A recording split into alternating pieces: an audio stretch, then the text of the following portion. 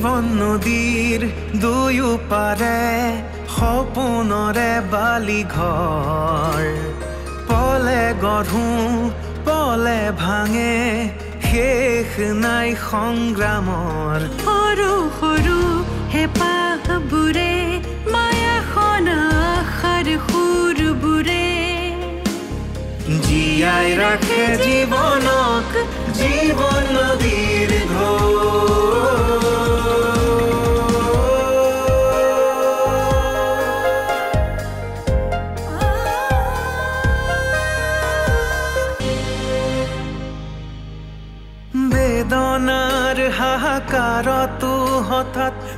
মৰমে চুই যায় কাৰোবাৰে শাৰী মাততে জীৱনে প্ৰাণ পায়। আকৌ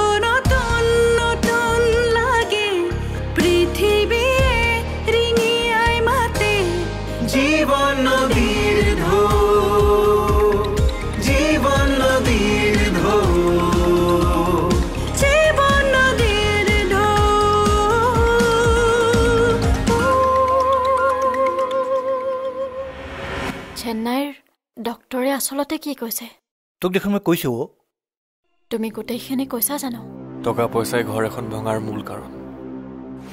মাটি সম্পত্তিক তেজতকৈ বেছি গুৰুত্ব দিয়া হৈছে মানুহে। তোৰ হ'ব লগা মানুহজনীক দেউতাই সহায় কৰিবলৈ যাওঁতে বাধা দিয়াটো কেনেকৈ শুদ্ধ হ'ব পাৰে? তোৰ বিয়াখন কেঞ্চেল কৰিম। ডাঙৰে এনেকৈ টকা দিলে হয়তো বেয়া পাব পাৰে। সি যদি বেয়া পায় ঊলৰ নামত ফিক্স কৰি থব তাৰ ভৱিষ্যতটো ভাল হ'ব। এটা ভাল খবৰ আছে শ্ৰীমতীজী ভাল খবৰটো শুনিম বাৰু কিন্তু শ্ৰীমতীজী কিয়? এনেই মাতিব মন গ'ল মাতি দিলোঁ। বিয়াৰ পিছতো সদায় কিন্তু শ্ৰীমতীজী বুলিয়েই মাতিব লাগিব। জীৱা আজ্ঞা শ্ৰীমতীজী তোমাৰ কথাত অকমান বেছিয়ে ভাল লাগি থকা যেন লাগিছে মনটো। কোৱাচোন কি হৈছে? কোম্পানীটোৰ পৰা ফোন আহিছিলে অকণমান আগতে। চিলেকশ্যন হ'ল ন? তুমি কেনেকৈ জানা? তোমাৰ কথাৰ সুৰতে গম পাইছো। কংগ্ৰেচুলেশ্যনছ মোৰ মানুহজন। মানুহজন? আৰে তুমি যদি শ্ৰীমতীজী বুলি মাতিব পাৰা মই তোমাক মানুহজন বুলি মাতিব নোৱাৰো। আচ্ছা মানুহৰ আগত মাতি দেখুৱাবচোন। চেলেঞ্জ নেকি চেলেঞ্জ নহয়। এনে চাব বিচাৰিছোঁ মানুহৰ আগত তুমি কেনেকৈ কোৱা। অ'কে চেলেঞ্জ একচেপ্টেড এতিয়া কোৱাচোন তুমি তোমাৰ জইনিং কেতিয়া? কাইলৈ। কাইলৈ? তুমি কাপোৰ পাতিবোৰ ৰেডি কৰিছানে নাই? মায়ে অলৰেডি ঠিক কৰিব গ'লেই। ৰাতিয়ে ধুই ইস্ত্ৰি কৰি থৈ দিব বুলি। ঠিক আছে অল দ্য বেষ্ট মন দি কাম কৰিবা? থেংক ইউ এই ৰাখা। দাদাক কোৱাই নাই দাদাক কওঁ ৰ'বা। বাই। বাই। দেউতা? কি ক'লি অনুপ? এটা কোম্পানীত ইণ্টাৰভিউ দিছিলোঁ। চিলেকশ্যন হৈ গ'ল। কাইলৈ জইনিং কি ক? বঢ়িয়া। কি কোম্পানী? এই অট'মোবাইলৰ কোম্পানী। কিন্তু সেই official post that's great congratulation দেউতা ক'লি নে নাই ৰ মই কৈ আহোঁ খাহী মাংস মই ক'লোঁ দেউতা মায়ে গম পায় বহুতে নাজানে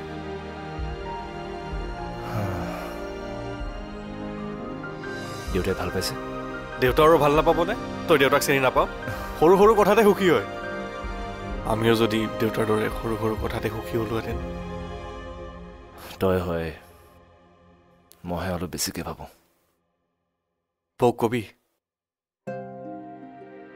তই কওঁ নেকি? তই ক'লে ভাল পাব। এনেও মনটো বেয়া হৈ আছে।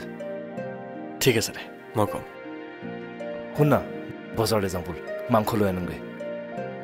এতিয়া নালাগে দে মোৰ দৰমহাৰ পইচাৰে মাংস কিনিম তেতিয়া বেছি ভাল লাগিব। আৰে সেইদিনাখনতো আনিমেই আজিও খাম। আৰে তই যা ওলাগে যা মই ৰৈ আছোঁ যা যা যা যা।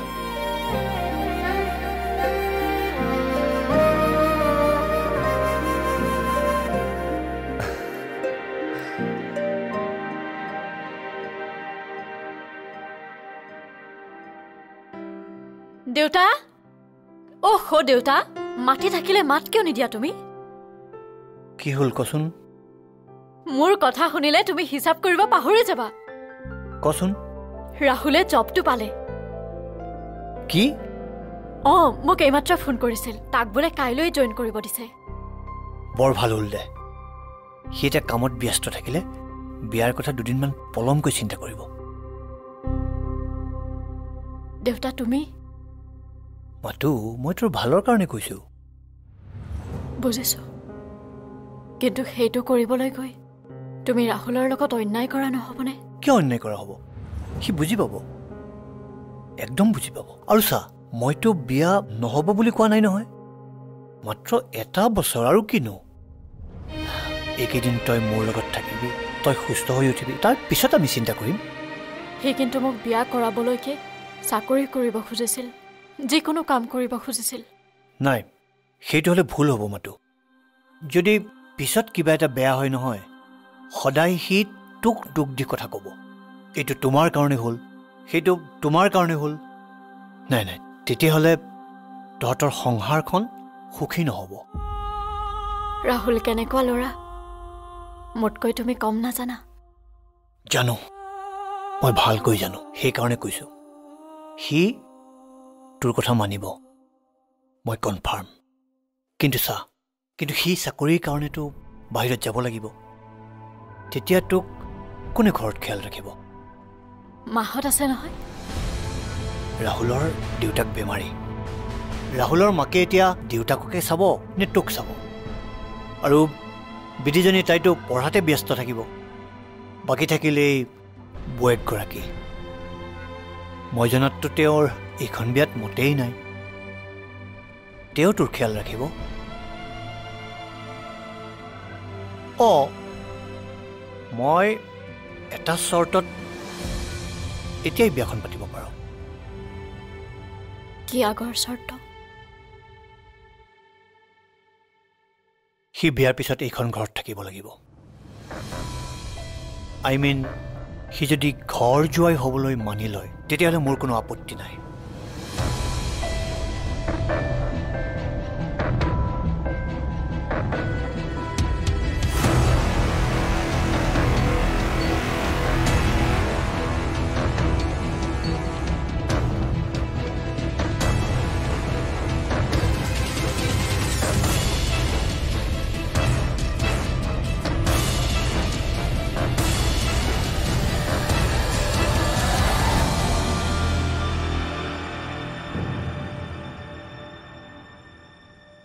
হয় ছাৰ মই লোকেশ্যনটো পালোহি। তুমি বাওঁফালৰ সাত নম্বৰ দোকানলৈ যোৱা। দোকান? ছাৰ মই অফিচ বুলিহে ভাবিছিলোঁ। যিটো কৈছোঁ সেইটো কৰা। তোমাক দোকানৰ পৰা বস্তু এটা দিব সেইটো লৈ তুমি আমাৰ ঘৰলৈ দি আহিবা। মই তোমাক আমাৰ ঘৰৰ লোকেশ্যনটো দিছোঁ আৰু লাঞ্চ ব্ৰেকত তোমাৰ বেলেগ একো কাম নাই। ঠিক আছে ছাৰ।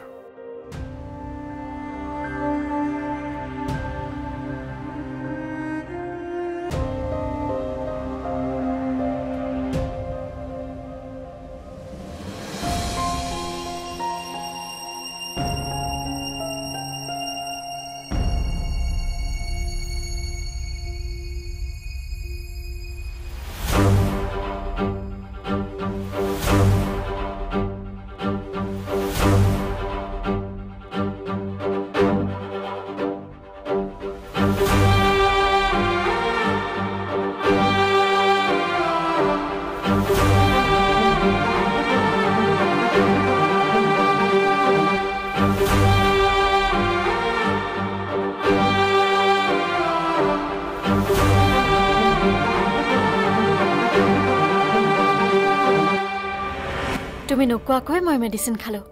ৰাহুলৰ ঘৰত গৈও মই নিজৰ কেয়াৰ নিজে ল'ব পাৰিম। নোৱাৰিবি মাতো। তই এই মেডিচিনবিলাক এমাহ কণ্টিনিউ খোৱাৰ পিছত দুই তিনি মাহৰ কাৰণে দুৰ্বল হৈ পৰিবি। অত্যন্ত দুৰ্বল হৈ পৰিবি।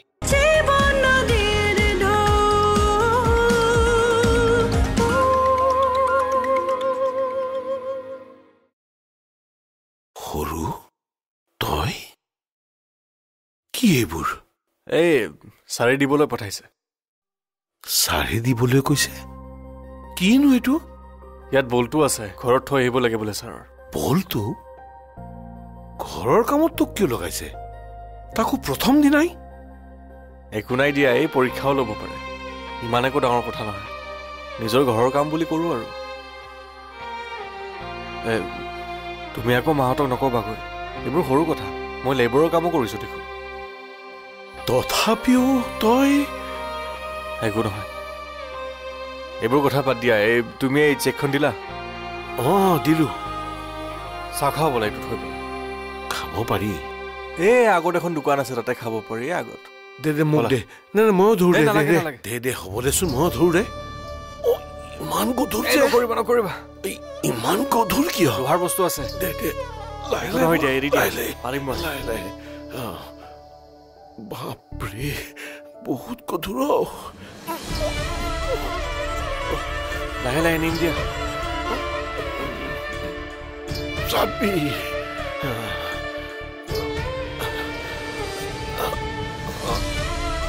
কি হ'ল?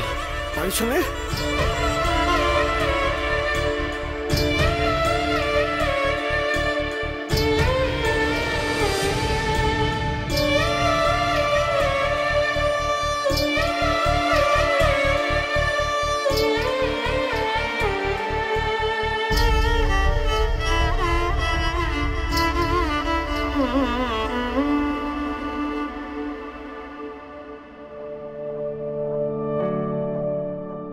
মাতো মেডিচিন খাইছোঁ। খালোঁ। তুমি নোকোৱাকৈ মই মেডিচিন খালোঁ। ৰাহুলৰ ঘৰত গৈও মই নিজৰ কেয়াৰ নিজে ল'ব পাৰিম। নোৱাৰিবি মাতো। তই এই মেডিচিনবিলাক এমাহ কণ্টিনিউ খোৱাৰ পিছত দুই তিনি মাহৰ কাৰণে দুৰ্বল হৈ পৰিবি। অত্যন্ত দুৰ্বল হৈ পৰিবি। তই বেয়া পাবি বুলি তোক মই কথাবিলাক কোৱা নাছিলোঁ। ডক্টৰে মোক কেতিয়াবাই কৈছে। তই মোক ভুল নুবুজিবি। তই ৰাহুলক ফোন কৰিলি? সেইটো কথা মই ক'ব নোৱাৰোঁ। তুমি ক'বা। ঠিক আছে বাৰু। তাক ৰাতি মাত কথা পাতিম। আৰু সি বোধহয় চাকৰিটো বেছিদিন কৰি থাকিব নোৱাৰিব। কি? সি যিটো কোম্পানীত জইন কৰিছে সেই কোম্পানীটো তাৰ অপনেণ্ট বক্সাৰৰ ভিনিয়েকৰ। তাক মেণ্টেলি ডিষ্টাৰ্ব কৰাৰ কাৰণে তাক চাকৰিটো দিছে। মই পোৱা খবৰটোহে তোক কৈছোঁ। সি আহিলে তাক সুধিবি তাৰ প্ৰথম দিনটোত সি কেনেকুৱা পালে। আৰু তাক সেই দেওবাৰে জইন কৰাই লগে লগে ডিউটি কৰিবলৈ দিওঁতেই মোৰ সন্দেহ হৈছিল। তাৰপিছত মই খবৰ কৰোঁতে গম পালোৱেই। তুমি চিয়'ৰটো চিয়'ৰ বক্সিঙৰ পৰা তাক আঁতৰাই মেণ্টেলি ডিষ্টাৰ্ব কৰাৰ কাৰণে ইমান শ্বৰ্ট নটিছত তাক চাকৰিটো দিয়া হ'ল। মোৰ মতে সি বক্সিঙতে কনচেনট্ৰেট কৰা হ'লে ভাল আছিল। মই তাক ক'ব লাগিব। ফোন এটা কৰোঁ। নাই নাই এতিয়া কৰিব নালাগে। ৰাতি আহিলে কথা পাতিম।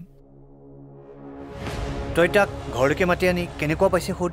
আৰু সি যদি ভাল পাইছে তেতিয়াহ'লে আমাৰ ক'বলগীয়া একো নাই। মোৰ মতে কিন্তু সি বক্সিঙত কনচেনট্ৰেট কৰা হ'লে বেছি ভাল আছিল। তোমাৰ কথাবোৰ নিজৰ মাজতেই দুটা দেউতা। প্ৰথমে তুমি কৈছিলা ৰাহুলে মোক বিয়া কৰাবলৈ হ'লে সি ইনকাম কৰিব লাগিব এষ্টাব্লিছড হ'ব লাগিব। আৰু এতিয়া তুমি নিজেই কৈছা সি বক্সিঙত কনচেনট্ৰেট কৰিব লাগে। বক্সিং প্ৰফেচনেলি খেলি সি লাইমলাইটত আহিব পাৰিব লাগিব। তেতিয়াই সি ইষ্টাব্লিছ হ'ব। চোৱা অসমৰ বক্সিঙে কিমান গুৰুত্ব পায় সেইটোতো তুমি নিজেই জানা। গুৰুত্ব পাবলৈ বাধ্য কৰাব লাগিব মতো নিজৰ খেলেৰে নিজৰ কেপাচিটিৰে বুজিলি?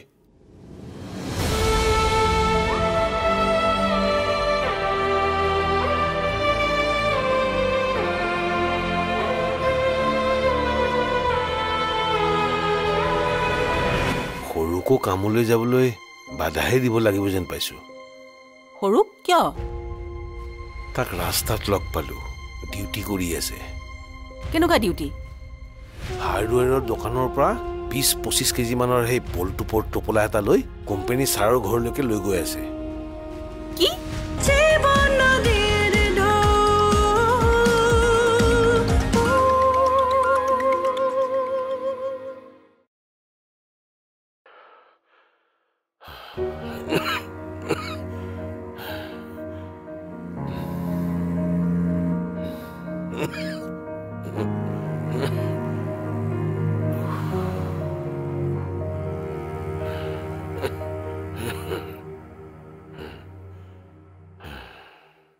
আহিলে আপুনি? জমা দিব পাৰিলে। ভাগৰ লাগিছে নেকি আপোনাৰ? বয়স বাঢ়ি আহিল যে। খোজকাঢ়ি আহিলে মানে ন? ৰিক্সা এখন লৈ নাহিলে কেলে বাৰু? এই ৰিক্সাতে আহিছোঁ। তথাপি দেখোন কিবা ভাগৰ লাগিছে। দৰৱটো খালে নে নাই? খালোঁ। ময়ে যাব লাগিছিলে। আজিৰ পৰা আপুনি একদম বাহিৰলৈ ওলাই নাযাব। মই চেন্নাইলৈ গ'লেও কিন্তু মই ফোন কৰি সুধি থাকিম। ফাঁকি দিব নোৱাৰিব আপুনি। হে নাযাওঁ দিয়া। পিছে সৰুকো কামলৈ যাবলৈ বাধাহে দিব লাগিব যেন পাইছোঁ। সৰুক কিয়? তাক ৰাস্তাত লগ পালোঁ ডিউটি কৰি আছে। কেনেকুৱা ডিউটি? হাৰ্ডৱেৰৰ দোকানৰ পৰা বিছ পঁচিছ কেজিমানৰ সেই বলটোপৰ টোপোলা এটা লৈ কোম্পানী ছাৰৰ ঘৰলৈকে লৈ গৈ আছে। কি? সিটো মোক কৈছিলে কিবা অফিচিয়েল কাম বুলিহে? অফিচিয়েল কামেই হয়। খটুৱাইছে তাক। সৰুৰ মতে তাৰ পৰীক্ষাও ল'ব পাৰে। অঁ ধৈৰ্যও চাব পাৰে। কিন্তু এইটো চাকৰিত ধৈৰ্য বেলেগত চাব। বিছ ত্ৰিছটা ফাইল নি তাক ঠিক কৰিবলৈ ক'ব। কিন্তু ঘৰৰ বস্তু বাহানি ঘৰলৈকে নিব নকয় নহয়। মানে আপুনি কি ক'ব খুজিছে? মই তাক আচলতে বৰ বেছি সুবিধা দিব নোৱাৰিলোঁ। কিন্তু এনেকৈ কাম কৰাটোতো মই বিচৰা নাছিলোঁ। তেনে এটা কাম কৰোঁ দিয়ক চাকৰিটো বাদ দিবলৈ কওঁ নহ'লে। অঁ তেনেকুৱা ভাল কাম এটা বিচাৰিবলৈ ক'ব লাগিব। কামৰ পিছে সৰু বৰ নাই কিন্তু যিটো কামৰ কাৰণে তাক চাকৰিটো দিছে সেইটো কাম কৰাওক। যদি আগতেই ক'লেহেঁতেন ঘৰৰ বস্তু বাহানি কঢ়িয়াব লাগে তেতিয়া কথাটো বেলেগ আছিল। তাৰ মনটো বাৰু বেয়া নেকি? আহা সি জানো তাৰ মনটো বেয়া বুলি মোক দেখুৱাব। এটা সংগঠন ওলাইছে বোলে। সংগঠনটোৰ নাম হ'ল মানুহ। মালিক বা ওপৰৱালা কৰ্মচাৰীয়ে তলৰ কৰ্মচাৰীক যদি কিবা হাৰাশাস্তি কৰে তাত বোলে কমপ্লেইন দিব লাগে। আৰু তেওঁলোকে কমপ্লেইন দিলে সেইমতেই সেই মানুহজনক শাস্তি দিয়ে। এইবিলাক মানুহে জানে শিক্ষা পাব লাগে তাতেই কমপ্লেইন কৰাৰ কথা কওঁ নেকি নহ'লে পিছে কমপ্লেইনটো তাত কেনেকৈ দিব পাৰি অ' কল্পই কিন্তু জানিব পাৰে দেই হুম, এইবোৰ কামত সিয়ে চোকা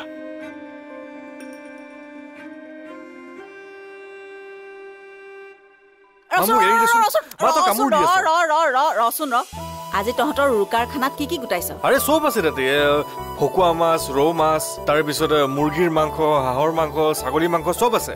অকল তহঁতকেইটাই নে আৰু কাৰোবাক মাতিছ? গোটেই পৃথিৱীখনক মাতিছো আমি। বা খাবলৈ গোটেই পৃথিৱীক মাতিছ। আৰু শুন তই তাৰ পৰা অকমান কিবা কিবি দেউতালৈ লৈ আহিবিচোন। আহ। নহয় শুন আমাৰ এটা পৰম্পৰা আছে। উৰুকাৰ ভোজৰ বোলে বস্তু খালে মানুহ সতেজ হৈ থাকে। আনিবিচোন দেউতালৈ। ঠিক আছে মই যাওঁ। তই যোৱাৰ আগতে আমাৰ দৰ্শকক এটা শুভেচ্ছা দি থৈ যা। প্ৰিয় দৰ্শক আমাৰ জীৱন নদীৰ ঢৌৰ তৰফৰ পৰা আপোনালোকলৈ মাঘ বিহুৰ বহুত শুভেচ্ছা জনালোঁ। আশা কৰিছোঁ এই ভোগালীৰ জুয়ে আপোনালোকৰ জীৱন সুন্দৰ কৰক অন্ধকাৰখিনি দূৰ কৰক আৰু যিমান বেয়া আছে চব পুৰি ছাই কৰি দিয়ক। ধন্যবাদ।